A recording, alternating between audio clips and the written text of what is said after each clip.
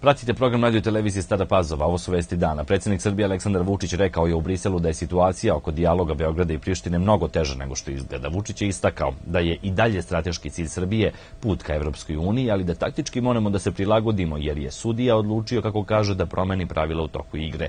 Inače, Vučić se danas sastao sa ministrom odbrane Kipra, Savasom Angelidisom, koji je ponovio snažnu podršku Kipra, suverenosti i teritorijalnoj celovitosti Srbije po pitanju Kosova i Metohije. Skupština Srbije usvojila je danas zakon o poštanskim uslugama kojim se obezbeđuje veći stepen zaštite korisnika ovih usluga i odgovornost poštanskih operatera i pošiljaoca. Zakon o poštanskim uslugama treba da doprinese efikasnije funkcionisanju poštanske mreže i unapređenju uslova pristupa toj mreži, kao i da dovede do razvoja tržišta poštanskih uslova shodno potrebama privrede i građana.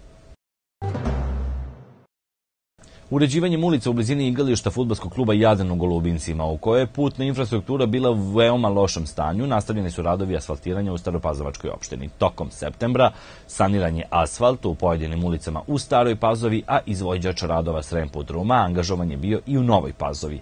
Proteklog vikenda asfalt su dobili i meštani neasfaltiranih ulica u Golubincima, Zore Avakumović i Palanačke. U protekle dve godine u opštini Stara Pazova asfaltirano je preko 150 ulica, kaže predsednik opštine Stara Pazova Đorđe Radinović. Putna infrastruktura u narednom periodu biće obnovljena i u Surduku i Banovcima, a radi se i regionalni put Stara Pazova Stari Banovci zajedno sa putevima Srbije.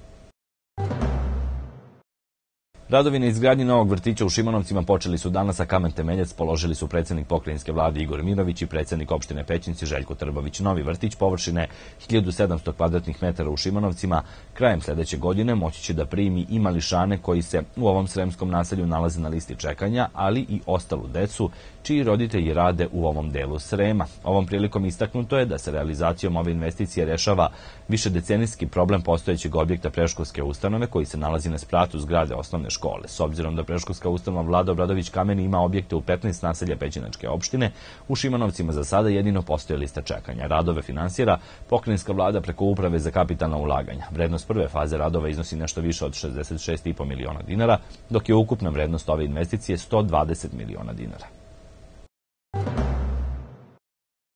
Pripadnici Ministarstva unutrašnjih poslova u Sremskoj Mitrovici su u trodnevnoj kontroli biciklista i pešaka sankcionisali 135 prekršaja biciklista, od kojih najviše prekršaja vožnje pod uticajem alkohola i vožnje neosvetljenog bicikla noću. Takođe je sankcionisan i 31 pešak zbog kretanja noću po putu van naselja bez svetlo odbojnog prsluka i prelaska ulice van obeleženog pešačkog prelaza. U pitanju su teži saobraćeni prekršaji, koji su često i uzroci saobraćenih nezgoda sa nastradalim osobama. Saobraćena policija će i u narednom periodu realizovati pojačane kontrole saobraćaja i poziva sve učesnike u saobraćaju na dosledno poštovanje svih saobraćenih propisa. Staropazovačko javno komunalno preduzeće Čistoća u novembru sprovešće jesenju akciju odnošenja kabastog otpada na teritoriji Staropazovačke opštine. U subotu 2. novembra radnici Čistoće odnosit će kabasti otpad iz Nove Pazove, Vojke i Krnješevaca, zatim će 9. novembra akcija biti sprovedena u Staroj Pazovi i Golubincima, a 16. novembra u Podunavlju iz nadležnog preduzeća podsjećaju da se pod kabastim otpadom podrazumeva stari nameštaj, mali i veliki uređaji, madraci, peći, bicikli, kovčezi i slično. Mole se građani da ne iznose šut i građevinski otpad.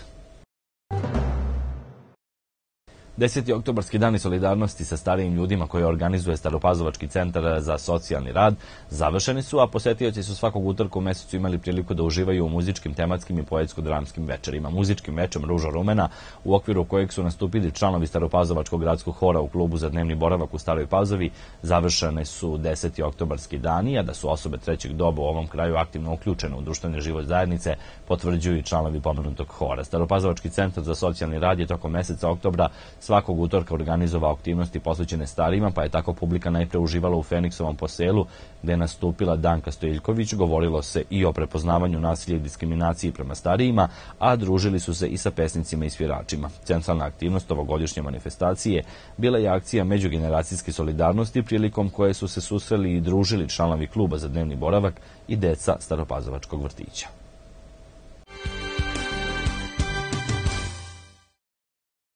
Evropska futbalska unija UEFA kaznila je Partizan sa 5125 evra zbog ubacivanja tvrdih predmeta sa tribina na meču protiv AZ Alkmara u Ligi Evrope, na kome su prisustovala samo deca do 14 godina, prenosi sportski žurnal.